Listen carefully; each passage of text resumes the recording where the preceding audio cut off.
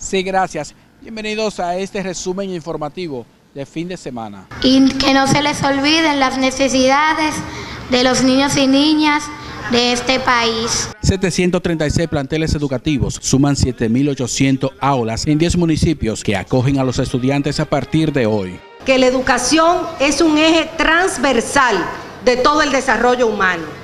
Por ello, ha dedicado todos sus esfuerzos en poder motorizar el proceso de enseñanza, aun cuando nos golpea la crisis sanitaria que nos impedía asistir a las escuelas. La vicepresidenta dijo que el compromiso del gobierno es brindar educación de calidad. Y subirla a una cima en todo lo que es la agenda política y la agenda gubernamental en todo el mundo y por ende también en nuestra República Dominicana.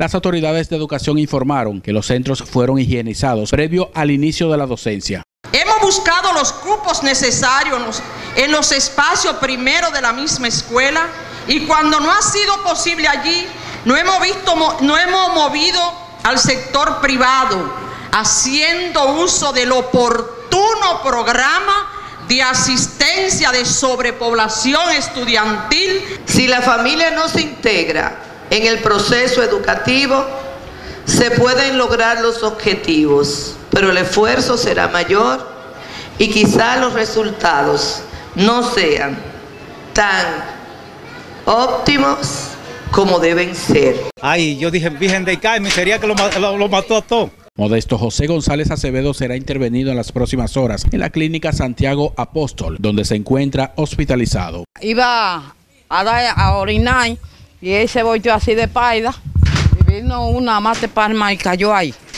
Entonces la mamá dijo, ay mamá, mami ven. Entonces yo salí huyendo, entonces lo que salí fue huyendo para afuera. Y él, no me pongan la mano, y la mamá decía, no me pongan la mano. Ah, digo, pero la cama estaba ahí mismo y la, la mata cayó ahí, arriba de ella, y él se salvó fue de, de milagro. Okay. ¿Llovió mucho ayer? Ellos, eso sí llovió, pero no hizo brisa y la mata cayó. Así vea. Narran que cuando cayó el árbol que destruyó su vivienda, no sentían en la zona ráfagas de vientos. Y por eso a veces yo le, le, vivía diciendo que toda esa mata hay que cortarla. Las lluvias además provocaron que decenas de viviendas se inundaran. Estas inundaciones ya estaban preparadas porque ellos sabían y nosotros sabíamos que podrían inundarse y por eso fue que hicimos los procesos de evacuaciones preventivos y voluntarios en algunos lugares. Cienfuegos cada vez que llueve, cada vez que llueve, tenemos pues, eh, más de 40 viviendas que se inundan, pero son momentáneas porque es producto de que las casas están por debajo, por debajo del contenedor. Desde muy temprano al Santo Cerro acudieron feligreses que como cada año veneran a la Virgen. Yo vengo todos los años y vengo ahora a visitar la Virgen, a cumplir la promesa. Le agradezco mucho a la Virgen de Mercedes por tantos favores que he recibido y por esta salud que usted... Ven y danos la alegría que nace de la fe y del amor. Algunos feligreses cantaban a la Virgen mientras llegaban a este santo cerro. Yo vengo todo, no todos los años, yo vengo aquí mensual, porque aquí hay muchos milagros por la gloria de Dios. Ay, un agradecimiento.